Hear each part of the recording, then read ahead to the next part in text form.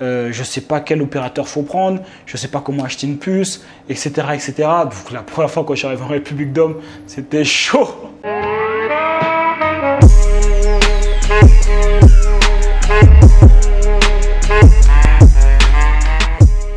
Alors bonjour et bienvenue sur cette nouvelle vidéo. J'espère les gars que vous allez bien depuis la dernière fois. N'hésitez pas à t'abonner les gars. On fait comment hein Et mettre et le, euh, euh, cliquer sur la cloche pour recevoir les notifications. Alors voilà, euh, peut-être tu as pour mettre tout. En plus tu peux personnaliser en plus. Tu peux mettre toutes les notifications, une moitié, tout ça, parce que nous, tu as vu, on enchaîne une vidéo par jour. Maintenant, si tu veux être déter, être motivé tous les jours, tu mets toutes les notifications. Ok? C'est comment les gars? Je t'ai dit, l'objectif c'est d'arriver aux 100K d'abonnés. Vois, on en est loin. Donc si tu t'abonnes pas, on fait comment les gars? Ok, donc ici c'est Jonathan Hachi. L'idée de cette chaîne c'est pour te permettre d'être déterminé, de pouvoir être motivé à passer à l'action, pouvoir créer ton business en ligne et afin de pouvoir être libre géographiquement où tu veux, quand tu veux. Tu as ton description, tu as une formation offerte Influenceur 2.0. Tu es libre d'y accéder et tu verras exactement les stratégies, comment j'ai fait euh, pour générer du cash. Voilà, en gros. Et j'ai redoublé mon BEP, j'ai rendu à Ivry, d'accord, euh, dans le quartier des Pyramides. Et pourtant, j'ai réussi à le faire. Donc arrêtez de trouver des excuses tout le temps, les gars. À un moment donné, les gars, ok? Justement, en plus, on va parler de voyage. Aujourd'hui, je suis en Colombie et on va parler un petit peu de voyage. Et donc d'ailleurs, je vais enchaîner directement sur le sujet de la vidéo. Les inconvénients de voyager lorsque tu as un business en ligne, on va en parler, les gars. Parce qu'à chaque fois, je vous dis, ouais, les gars, vous voulez voyager et tout, nanani, nanana, c'est trop bien. Euh, bon, ça déchire, attention. Hein. évidemment, il y a des inconvénients, comme dans tout, tu vois. Des fois, les gens me disent, ah ouais, euh, euh, t'es en, Colombie et tout, oh là là, ça déchire, le gars est toujours en vacances. Non, non, les gars, ça n'a rien à voir. on n'est pas en vacances. Hein, les, gars, les gars comme moi qui sont business, qui business ligne, on n'est pas en vacances. Hein. Comme j'aime bien dire, c'est juste un lifestyle. Ça n'a rien à voir. on travaille, on n'est pas en vacances. Là, je suis en Colombie, je travaille, là, je suis en train de tourner une vidéo. Je suis pas sur la plage, à danser la salsa. Tout. Faut que je prenne des cours de salsa d'ailleurs. Si vous, il y a des gens qui sont là de la Colombie, là, qui euh, savent où est-ce qu'on peut prendre des cours de salsa, euh, moi ça en commentaire. Là, je suis chaud, là. J'ai déjà découvert une nouvelle euh, passion, là, la salsa, la salsa. Tonton, ça déchire, la salsa.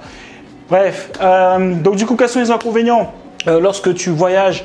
Parce qu'il y a des inconvénients, du coup, quand tu voyages et que tu as un business. Et c'est ce dont je vais te parler dans cette vidéo. Alors, premier inconvénient, et après je te parle des inconvénients, je te parle, c'est des inconvénients qui sont liés à moi, d'accord? Par rapport à ma personnalité, par rapport à ma routine, par rapport à ce que j'aime faire, tu vois. Donc, premier inconvénient, c'est euh, à chaque changement, il faut refaire ta routine.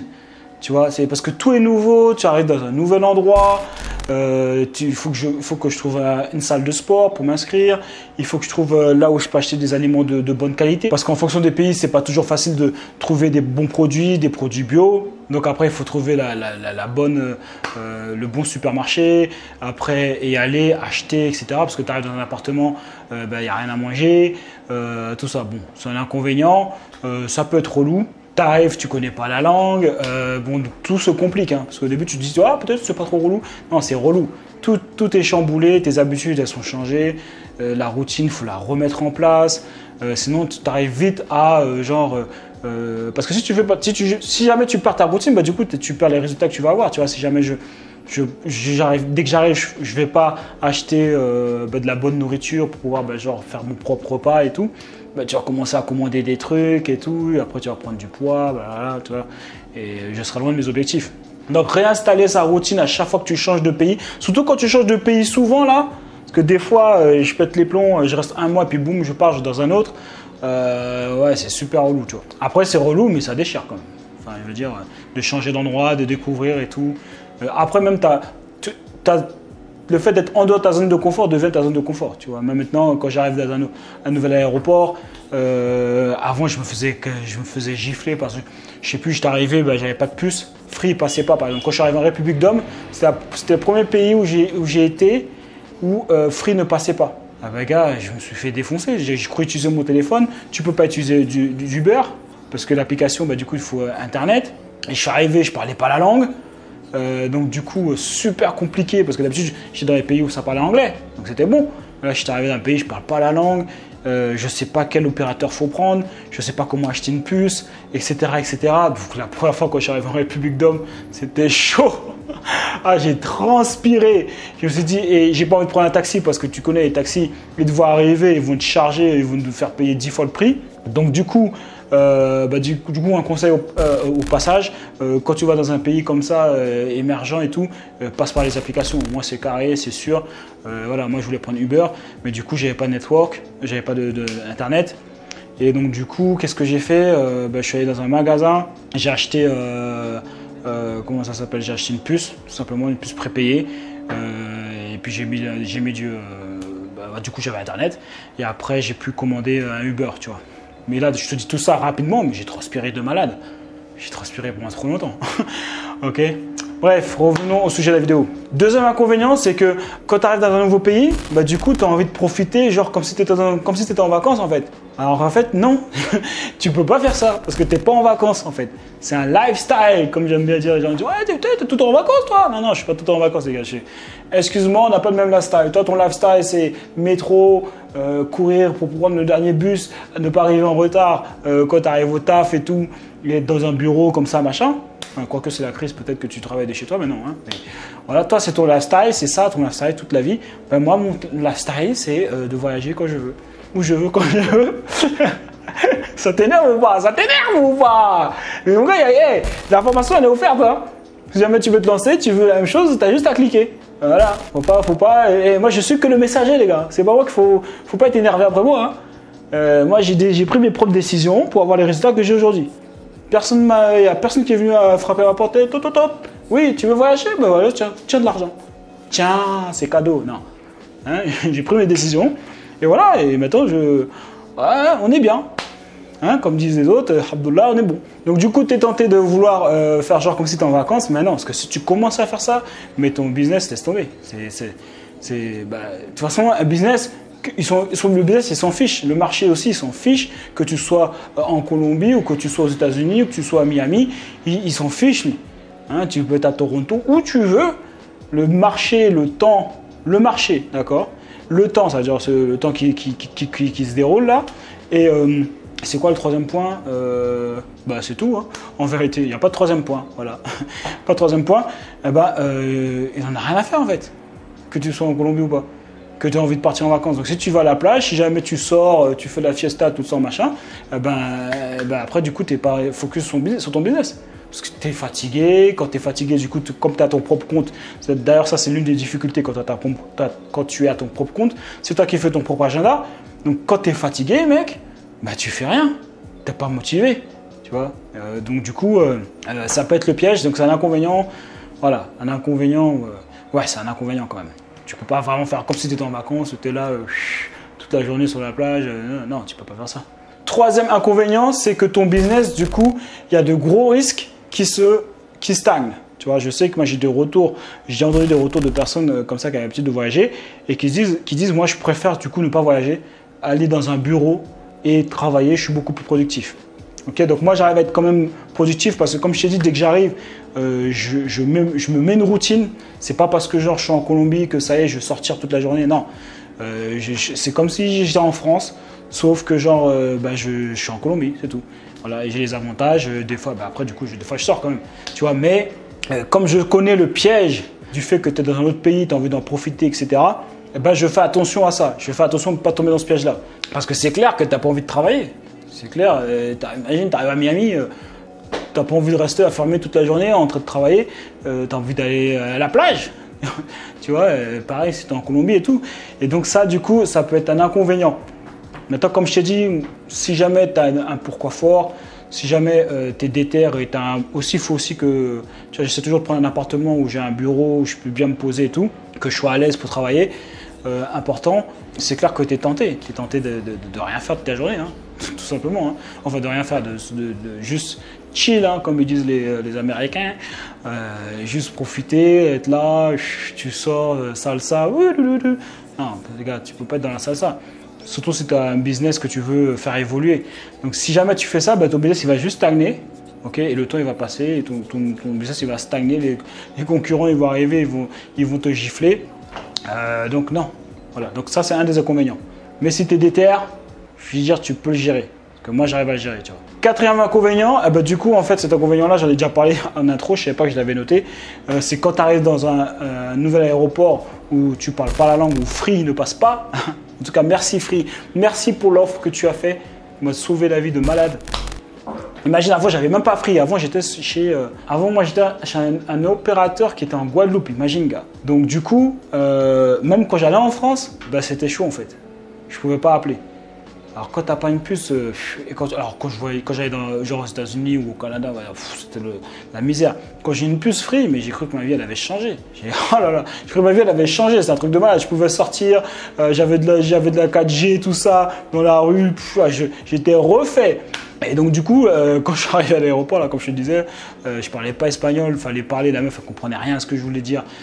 Je savais même pas comment parler et t'as pas tu peux pas utiliser le traducteur parce que t'as pas de 4G, t'as rien, t'as rien. Pas, parce que c'est là que tu vois que ton téléphone, si t'as pas internet, t'es foutu en fait. D'habitude, tu vois, si tu, tu parles pas, tu dis bon, je vais utiliser le traducteur, ta ta ta, boum boum, y a pas de problème. Là, tu parles pas espagnol, t'arrives dans l'aéroport, t'as pas de puce. Parce qu'au début, quand je me rappelle quand j'étais en République d'Homme, il m'avait déjà dit, parce que j'avais demandé avant de partir quand même, j'avais essayé d'anticiper, j'avais dit quelle ligne il faut prendre pour euh, quand je vais aller en Colombie. Il m'avait dit que la même euh, qu'en République d'Homme, ça s'appelle euh, euh, Claro ici. Tu vois, c'est un gros, c'est un big truc, tu vois, ici, tu vois, Claro, c'est un peu comme SFR, quoi. Et du coup, euh, je lui ai dit, est-ce que je une puce maintenant pour aller, quand je vais arriver en Colombie? Il m'a dit, non, c'est quand tu seras là-bas. Quand je suis arrivé, la misère, tu vois, tu sais même pas si jamais tu. Là, quand tu vas arriver à l'aéroport, comment tu vas faire pour acheter une puce? Est-ce qu'il y a quelque chose à côté? Est-ce que l'aéroport n'est pas au milieu de, nulle part?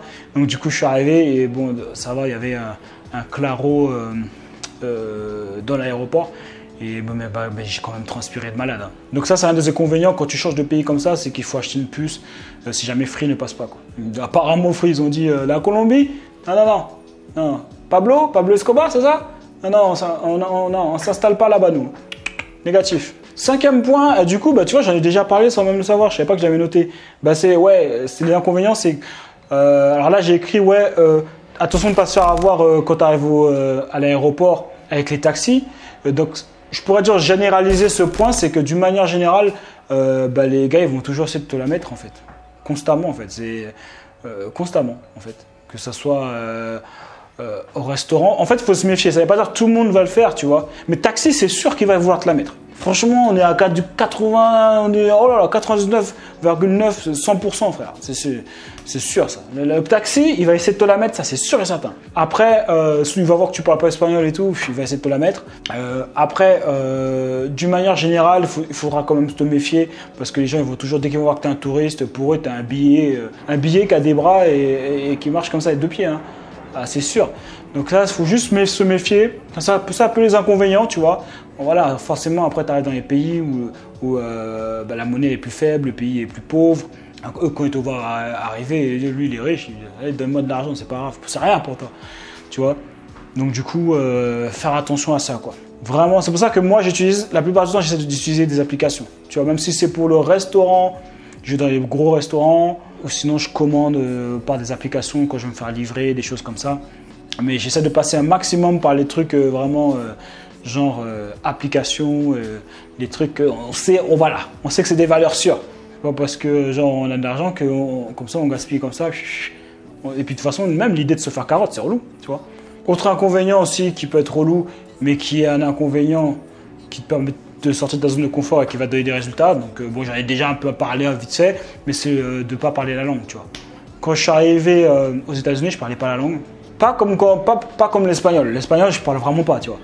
J'ai vraiment aucun mot. L'anglais, tu vois, j'ai déjà commencé à travailler un peu mon anglais, j'avais quelques mots et tout, mais c'était pas suffisant pour parler avec des gens ou comprendre quand les gens parlaient.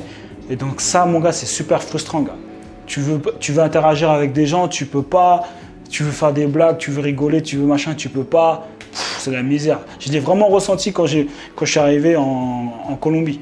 Parler, tout ça, machin, c'est d'échanger. Tu peux pas. c'est super relou. Donc du coup, euh, c'est bien parce que du coup, ça te fait sortir de la zone de confort. Donc euh, là, je, du coup, je vais devoir apprendre une nouvelle langue, mais c'est un inconvénient, mais en même temps, euh, c'est frustrant, on va dire plutôt, mais ça te permet d'avoir bah, des résultats dans ta vie, de devenir une nouvelle personne, etc. Tu vois, t'imagines, je suis passé d'un gars qui a redoublé son BEP, qui avait 8 de moyenne, euh, 7, insuffisant, je me rappelle, 7 en anglais. Euh, espagnol, j'avais même oublié même que j'avais appris ça, euh, que j'avais fait de, l'espagnol au collège. C'est L'autre jour, je me disais, ah, mais fait, normalement, j'ai fait de l'espagnol au collège là. Mais je ne me rappelle même pas. On connaît Buenos Dias, euh, Buenos, euh, Buenos Noches. euh. Non, on n'est pas dedans. Donc du coup, et là maintenant, j'imagine, je parle anglais. Bah ça, c'est parce que je me suis fixé des objectifs, les gars. C'est pas venu tout seul. hein. Je me dis, vas-y, je veux être bilingue en anglais. Donc du coup, qu'est-ce qu'on fait? Voilà, je dis, bon, on va aux États-Unis. Voilà, donc il faut créer un business en ligne. Comme ça, on va pouvoir aller aux États-Unis, être en immersion. Et voilà. Et là, du coup, bah, je me dis, bah, vas-y, je suis en Espagne. Enfin, je suis en Colombie, vas-y, je vais apprendre l'espagnol aussi. Puis voilà. Ça fait plaisir ou pas, les gars? Il y a eux, il y a nous, les gars. Faut être déter. Faut mettre vos objectifs, faut être déter. Donc voilà, c'est tout pour cette vidéo. N'hésite pas aussi à me mettre tes retours d'expérience quand tu as voyagé. Ça fait toujours plaisir de voir un petit peu ce que vous dites. Ok, donc n'hésite pas à me mettre un j'aime. Mais j'aime pas parce que tu es vénère, parce que tu peux pas voyager et tu dis ouais, de toute façon, c'est pas possible, ça arrive qu'aux autres, etc. Ok, sinon, si tu es libre de pouvoir accéder à la formation euh, Influenceur 2.0, je te montre exactement comment j'ai fait pour faire 20 000 euros sur mon lancement euh, de mon premier business euh, en ligne sur le saxophone. Ok, je te montre exactement détaillé euh, comment j'ai fait étape par étape. En fait. Et en plus de ça, donc ça, ça quand tu auras accédé, tu auras cliqué sur le lien, tu, euh, auras accès au détail de ça, plus une formation offerte, ok Pour que tu te montres en détail comment lancer ton en ligne. Et après, si jamais tu es chaud, euh, si tu as compris que ça déchirait, normalement tu dois le comprendre, hein, bon, vous voyez, euh, eh ben, tu pourras accéder à la, formation vraiment Influenceur 2.0 euh, qui est où tu pourras investir en toi. C'est un prix super accessible pour les gens qui sont déterminés. Et même pour les gens qui ne sont pas déterminés, c'est super accessible. Donc voilà, c'est tout pour cette vidéo, les gars. On lâche rien et on reste déterminés. Il y a eux et il y a nous. Choisis ton camp.